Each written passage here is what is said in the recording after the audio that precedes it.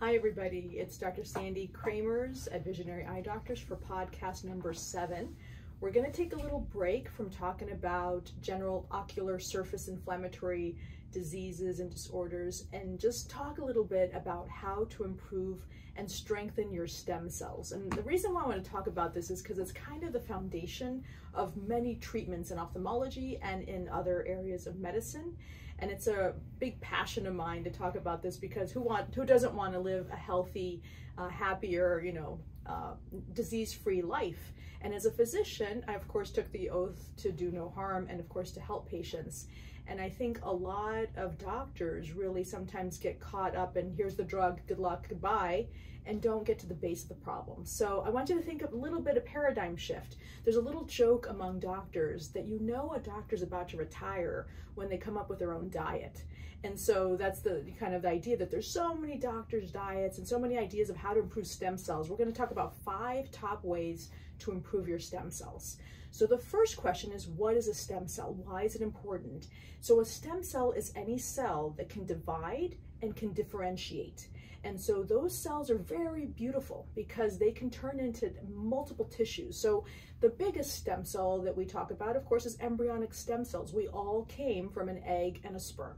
They got together and they basically created a new being of dividing cells called a blastocyte.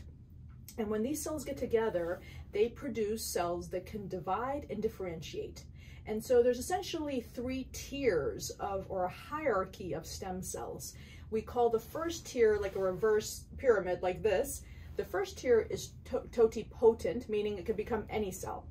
Then comes pluripotent, and then comes somatic cell. So the idea is that when you have an embryonic stem cell, a baby, or I would say embryo, kind of reproducing in the mother's womb, it can be, the, the cells can become any tissue. And that's the beauty of embryonic stem cells. The issue, of course, is that as the, the embryo continues to move on and move on, it starts to become more differentiated. The cells can only become one tissue if they go towards the muscle, if they go towards the eye, or they go towards the skin, and they become somatic cells. So that's human, human cells essentially.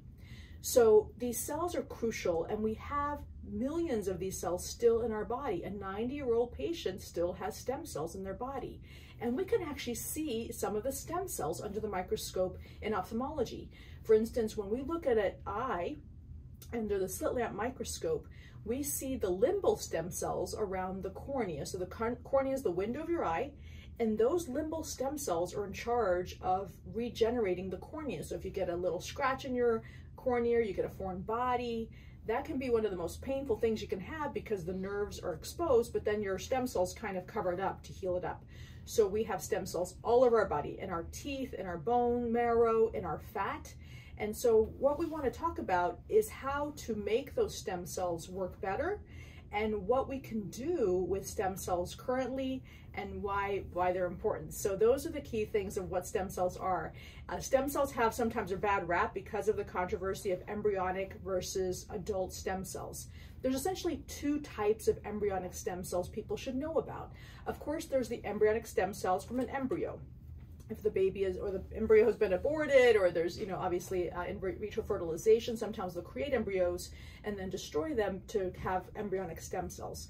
That is of course controversial. The studies really are still lacking to show that embryonic stem cell technology is as effective as adult stem cell technology. There's a second uh, component of embryonic stem cells that is also very promising and that's the embryonic stem cells in cord blood serum and so when a baby's born and the baby's with the mother and the placenta is about to be thrown away, the cord blood itself has a bunch of growth factors, even embryonic stem cells that are not controversial because the baby has been born. There's no issue about that. So that's a second type really of embryonic stem cells. And then there's of course the adult stem cells. So every one of you imagine if you could, let's say you have, you know, you either lose your you have an incident and you lose your liver. Well, your liver can regenerate, but let's say you lose an arm. You know, how could we regenerate that arm? Is it possible? And believe it or not, it is possible, and it's what people are working on right now. There's many people out there trying to recreate the pancreas for type 1 and type 2 diabetes. The issue is that embryonic stem cells don't seem, the one from aborted fetuses or from in vitro fertilization and aborted fetuses, don't seem to hold as much promise as adult stem cell technology to date. And so it's important to think about what we can do to strengthen our own stem cells. So there's a very famous doctor at Harvard who uh, won the Nobel Prize in Medicine, Dr. Joseph Murray, and he goes on record as saying he has harvested his own stem cells and he's harvested the stem cells of his children and grandchildren. And he believes the future of medicine is in the stem cells. And he's probably right. And so right now, in the moment we're in history, we have the technology to potentially heal many diseases with stem cells, but the data is still not strong. So while we're waiting for the studies to be done, the prospective randomized controlled double-blinded studies to be done to show which is the best stem cell, it's important to strengthen your stem cells. So I'm going to tell you one more thing about stem cells before we go on to the five top ways to improve your stem cells. Stem cells, as I mentioned, are all over your body we know that bone marrow for years has provided an incredible cure for leukemia, lymphoma, multiple myeloma. What that entails is the doctor takes a very large needle, puts it into the bone marrow, usually of the hip, grinds the needle in, and then extracts some stem cells, which is very effective. Your fat actually also has stem cells. And this is not to say that you should become obese, but your fat does have very good stem cells. And there's a lot of papers that seem to indicate that the amount of stem cells per square milliliter is higher with adult fat adipose stem cells compared to bone marrow stem cells. But further, there's an idea that if you have a disease, let's say meibomian gland atrophy, which is this oil-based problem, the fat stem cells may be more likely for the cells to become more like a fat-based type of cell, as opposed to bone marrow. Bone marrow is how we get our blood cells, for instance. So if you have a blood disease, maybe the bone marrow stem cells is a better way to get your stem cells. And these are questions that people are asking that we don't have great answers to just yet. So what are the top five ways to improve your stem cells? Now, this is obviously, you've heard me say a lot of this before, but I wanna kind of go into a little bit more detail on some of these. So number one is diet, and we've talked about this multiple times. I'm a big proponent, of course, of the anti-inflammatory diet because your stem cells, we know, get stronger by, in a, in, by fasting, which is very interesting. So when you fast, it actually can kill cancer cells. So many of us, most of us have about 50,000 mutations a day in our DNA. And how is it that some turn into cancer and some don't per patient? There's many patients you'll hear that smoked their whole life and never got lung cancer. And then a patient that never smoked and got cancer. Well, there's obviously many factors involved but there is something to be said about how certain diets and certain lifestyles can make a big impact on how your stem cells are able to fight off cancer and help you live longer.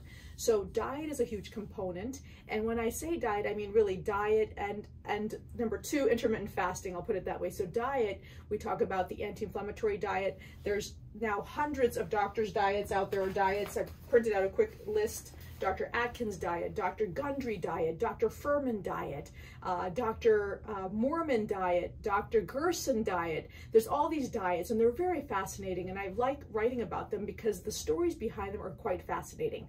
Let me tell you one story which I've alluded to before. So I mentioned, I think before, I had a friend who had this metastatic breast cancer she found out after her older sister died and she had decided to follow her dead older sister's journal to go do the Gerson diet. And the Gerson diet was a diet that was approved initially, or at least used in the United States for many years. But for some reason, Dr. Gerson lost his license and was kicked out to Mexico. And basically, his diet was very straightforward. It was basically an organic based diet, no chemicals, no hair products, no uh, furniture polish, but he would recommend the enemas I mentioned before three times a day, which was quite difficult for a lot of patients. Meanwhile, another doctor in the Netherlands named Dr. Moerman had a similar kind of anti-cancer diet. His diet was approved by the Royal Academy of Medicine in the Netherlands as a cancer treatment. But for some reason, which is really unclear in the, what I could find uh, on my research, he also was license was withdrawn, kicked out of his country, and they dis discredited him and he was not allowed to practice his diet. I'm not sure what exactly happened. I don't think either one of the doctors were necessarily kind of saying that's the only treatment, but at the same time, they're trying to maybe improve the patient's chance of fighting off the cancer with diet alone. Then, of course, comes Dr. Atkins. We all know about the kind of high fat diet. There's Dr. Fuhrman, who's a plant-based diet, and one of our colleagues here, Visionary Eye Doctors, swears by Dr. Fuhrman's diet because he had a history of cholesterol issues in his family, and Dr. Fuhrman's diet is very good at helping patients with cholesterol issues. There's Dr. Gundry's diet, who's a cardiothoracic surgeon who's very much against lectins. And then there's Dr. Longo, so Dr. Longo is my, probably my most favorite doctor of them all because he's a PhD and he actually just narrows it down as an anti-cancer diet to the bare bones of what you should eat and what you shouldn't eat. And what these all these diets agree on is basically some key components. Number one, water is good. Drink a lot of water. Number two, omega-3 in terms of wild salmon seems to be very good. Number, that's number two. Number three, green leafy vegetables, organic, is very good. Everything else is kind of controversial, whether you should eat, like tomatoes. Dr. Le Dr. Gundry says lectins are bad. Don't eat anything with nightshades. Peanuts, uh, nuts, you know, every doctor has a different opinion on nuts, especially with allergies and so forth. Same thing with soy, same thing with wheat, of course, or barley. Uh, there's Dr. William Li, who has a very nice video on YouTube, uh, who was actually a mentee of Dr. Folkman at Harvard, who was also my, uh, my mentor. And I met with Dr. William Li many times actually at Harvard about a protocol we were using for rosacea. But he has actually a, a different kind of uh, kind of video. Well, actually, it's not different. It's, it's based on an anti-angiogenesis and anti-inflammatory diet. He has some wonderful, wonderful points about the type of olives you should eat. Each olive has positives and negatives. And so there's three good olives, or there's many good olives, but you want to look for the olives that have the best phenol content or bioactive content against inflammation. Uh, so those are key questions. Lycopene, we, we know the list of like the bioactive ingredients in, in foods like lycopene, which comes from tomatoes. So eating a tomato raw is not terrible per se. You're not going to die necessarily, but Dr. Gundry and other doctors would say you increase your inflammation. If you cook it, slow cook it, like 190 degrees for about 30 minutes, your lycopene levels increase. And so when I told a friend of mine this, she said, the Italians are so brilliant. They've had it right for years. The slow brewing of tomato sauce actually is very good to help patients, for instance, protect against prostate cancer. So there's been a couple of papers to show that tomatoes redness, their, their lycopene is very helpful with cancer. The same is true with things like blueberries and raspberries and, and, and all types of these very, very dark berries. Their skin in most patients and most in most cases have a very strong bioactive concentration of antioxidants that help strengthen stem cells and decrease inflammation. So this is the research people are looking at to see which ones are the best. Uh, these diets have not been hit head to head so far in terms of randomized controlled prospective studies, but diet is a big component. Number two is intermittent fasting. And this is where Dr. Longo did a really great study where he took a group of uh, rats that had cancer and he expected both of them to kind of die around the same time in a couple of weeks and he fasted some of them starved a couple of the, the one cage and the other cage he gave the typical american diet and lo and behold the ones that were starved lived i think three times longer so we know that fasting strengthens your own cells and kills cancerous cells so Dr. Longo and Dr. Ger Moerman in the Netherlands and Dr. Gerson in the United States that was kicked out to Mexico have the same component of basically don't forget about fasting. Fasting is a very good component and there's many ways of fasting. I'm personally on the I'm personally on the OMAD diet, which is the one meal a day diet, and it's not easy. It's a good penance, it's good mortification, but we, we have data to say that's actually good for your health also. So along with diet and intermittent fasting, uh, there's of course number three, exercise. And I have many patients who come in with all kinds of chronic conditions, uh, chronic eye pain, for instance, that follow these key three steps and do get better on their own. And so things like gluten-free, dairy-free, sugar-free in the diet, crucial. Trying to skip a meal, very helpful for your cells. Exercise. I have a couple of patients that swear that when they started doing CrossFit training, their eye pain went away. And my theory is that they were having so much muscle pain around their body that they maybe didn't notice the eye pain. I don't know how to explain that, but there is obviously very important issues with obviously trying to exercise. So the minimum 10,000 steps a day is what we try to do. And if you can't move that much, trying to swim and so forth is very helpful. Number four is sleep. Ideally, eight hours of sleep. Uh, catching up on the weekends is not good enough. You really want to get that sleep because it does help your cells recover. And number five is basically decreasing toxic chemicals like smoking. Don't be around smokers. Don't inhale toxic fumes. Try to avoid chemicals if you can. Try to avoid furniture polish. Try to avoid air, air refresheners. These these chemicals, whenever they go into your body, your body has to fight them. And when they try to fight them, they elicit blood vessels, and that causes inflammation in some cases. So even things like hormones, be very careful with hormones because we know that that can change the inflammation of your body. Along with that is your gut flora. When you have a chemical or an antibiotic and you wipe out your gut flora, you can change your whole pattern of the next few years of your life. So there's been data to show that the gut flora determines your chance of autoimmune disease, your chance of cancer, and your longevity.